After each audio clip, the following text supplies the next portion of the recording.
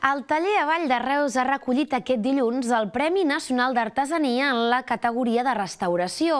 El gerent del taller, Aleix Álvarez, considera el guardó un reconeixement a la feina feta per vetllar i preservar el patrimoni català.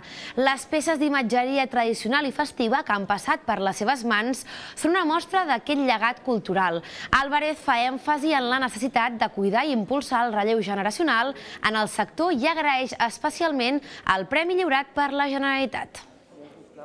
És un reconeixement a una tasca de que estem treballant pel nostre patrimoni, doncs per la nostra cultura, les nostres tradicions. És un aiguabarreig de sensacions que et toquen per dins, te deixa sense paraules en alguns moments perquè al final es converteix tot en emoció, no?